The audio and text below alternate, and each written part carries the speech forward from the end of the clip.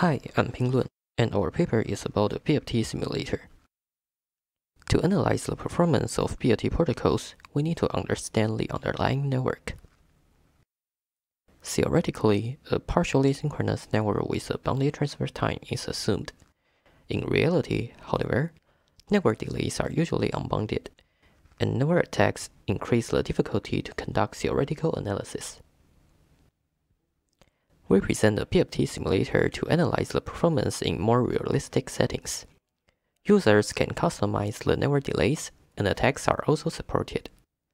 Additionally, our simulator can achieve high efficiency, and our flexible design allows us to implement a wide range of BFT protocols and attacks. Please refer to our paper and our GitHub repo for more information. Thank you for listening.